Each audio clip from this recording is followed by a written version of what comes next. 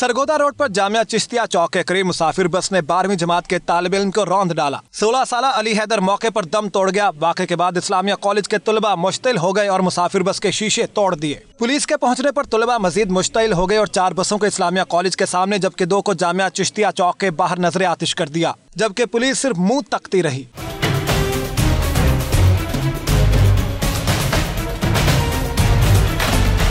بسیں جلائے جانے کے خلاف جنرل بس اسٹینڈ کے ڈرائیورز بھی سراپا احتجاج بن گئے اور تاخیر سے پہنچنے پر پولیس کے خلاف شدید نعرے بازی کی۔ علاقہ کئی گھنٹے میدان جنگ بنا رہا، جس کے بعد پولیس نے بامشکل حالات پر قابو پایا۔ پولیس کے مطابق طلبہ زیادہ اور مشتعل ہونے کے باعث حالات پر قابو پانے میں وقت لگا۔